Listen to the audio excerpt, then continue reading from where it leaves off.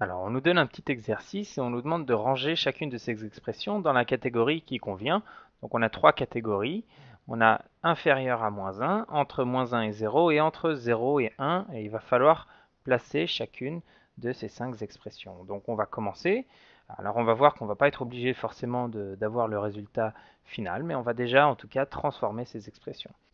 Donc, si on commence avec 7 à la puissance moins 4, 7 puissance moins 4, c'est égal à, alors qu'est-ce que je dois remarquer? Je dois remarquer tout de suite le moins, et dès que j'ai un moins, euh, donc dès que j'ai une puissance négative, eh je pense à 1 sur, et ensuite je regarde ce qui se passe.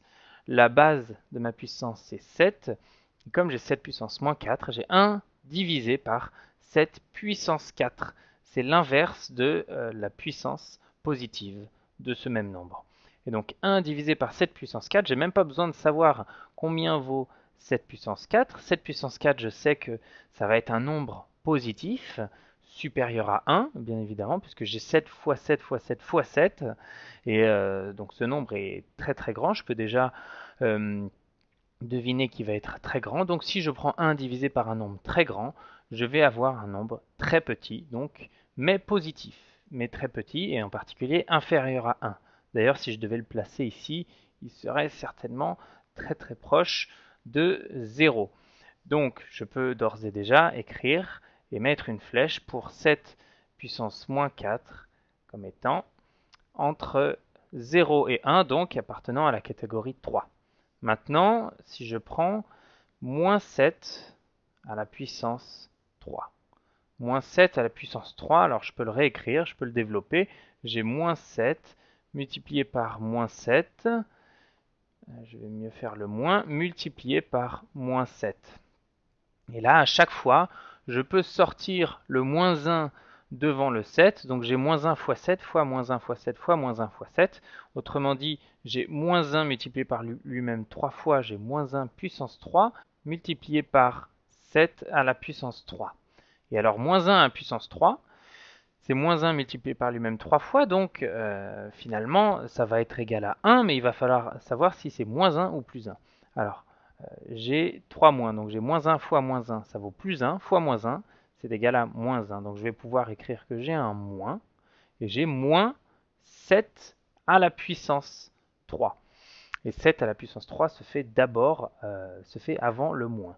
Et 7 à la puissance 3, 7 puissance 3, c'est un nombre positif très grand, c'est 7 fois 7, 49, et 49 fois 7, 49 fois 7, ça doit faire quelque chose comme 350 euh, moins 7, c'est égal à moins 343. Bon, mais moins 343, euh, quand bien même je ne saurais pas à quoi est égal 7 puissance 3, vu que j'ai moins 7 à la puissance 3, je suis inférieur à moins 1, donc je suis compris entre dans la catégorie 1 inférieur à moins 1.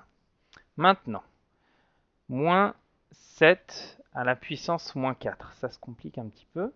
J'ai moins 7 à la puissance moins 4. Tout de suite, je développe et je remplace, euh, je me débarrasse du moins de la puissance et j'écris que j'ai 1 divisé par moins 7 à la puissance 4. Moins 7 à la puissance 4. L'inverse vient du fait qu'on ait un moins. Encore une fois, ça ne change pas. Et donc j'ai 1 divisé par moins 7 à la puissance 4. Et de manière un peu similaire à juste euh, à l'exemple précédent, je vais avoir moins 1 puissance 4 fois 7 puissance 4. je peux le réécrire. Moins 1 puissance 4 fois 7 puissance 4. Et moins 1 puissance 4, eh bien en fait c'est égal à 1. Puisque euh, c'est moins 1 fois moins 1 qui est égal à plus 1, fois moins 1 moins 1, fois moins 1 plus 1.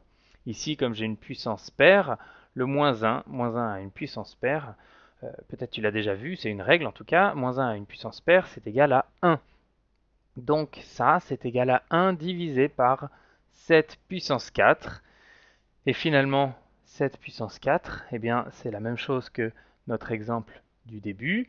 Et on avait vu que c'était entre 0 et 1, c'est un nombre très petit. 1 sur un nombre très grand qui est égal en étant positif. Un nombre positif très grand, c'est un nombre très petit, donc appartient à la catégorie 3 entre 0 et 1. Et maintenant, je vais faire un petit peu de place pour continuer les exemples. Donc je vais avoir moins 7 à la puissance moins 5. Alors moins 7 à la puissance moins 5, ça ressemble beaucoup à moins 7 puissance moins 4. Mais on va essayer d'aller pas trop vite. On va le redévelopper aussi. Tu vas voir que ça va changer quelque chose. Moins 7 à la puissance moins 5, c'est égal à 1 divisé par moins 7 puissance 5. J'espère que ça devient automatique. Et on va encore une nouvelle fois sortir le moins 1. On va écrire que c'est égal à 1 divisé par moins 1 puissance 5 multiplié par 7 puissance 5, pardon. Et moins 1 à la puissance 5, ça va être égal à moins 1 multiplié par lui-même 5 fois. Mais comme c'est un nombre impair, moins 1 à une puissance impaire, ben ça va être égal à moins 1. Puisque tu peux vérifier le calcul, moins 1 fois moins 1, ça vaut plus 1, fois moins 1, moins 1, fois moins 1, plus 1. On en est à moins 1 puissance 4, fois moins 1, ça vaut moins 1. Donc j'ai 1 divisé par moins 7 à la puissance 5. 7 puissance 5, c'est un nombre positif très grand, mais comme j'ai un moins, donc j'ai un nombre négatif, j'ai 1 divisé par moins 7 puissance 5. Donc je vais avoir, si je considère uniquement le 1 divisé par 7 puissance 5, j'ai un nombre très petit, à peine supérieur à 0, mais comme j'ai un moins, j'ai un nombre très petit aussi, mais qui est à peine, mais négatif, donc à peine inférieur à 0. On se situerait plutôt ici, très proche du 0, mais à gauche du 0. Donc, euh, pour moins 7 à la puissance moins 5, on est en fait dans la catégorie 2, entre moins 1 et 0. Maintenant, pour finir, avec moins 7 puissance 5, bah, finalement, euh, moins 7 puissance 5, c'est facile. Moins 7 à la puissance 5, la même chose que euh, le dénominateur euh, de l'exemple précédent. On a moins 1 puissance 5 multiplié par 7 puissance 5 qui est égal à moins 7 à la puissance 5. 7 puissance 5 moins 7 puissance 5 c'est un nombre. 7 puissance 5 c'est un nombre positif très grand du coup si on prend sa valeur négative on va avoir un nombre inférieur à moins 1. Donc je vais essayer de pas trop les flèches, on est dans la catégorie supérieure, inférieure à moins 1.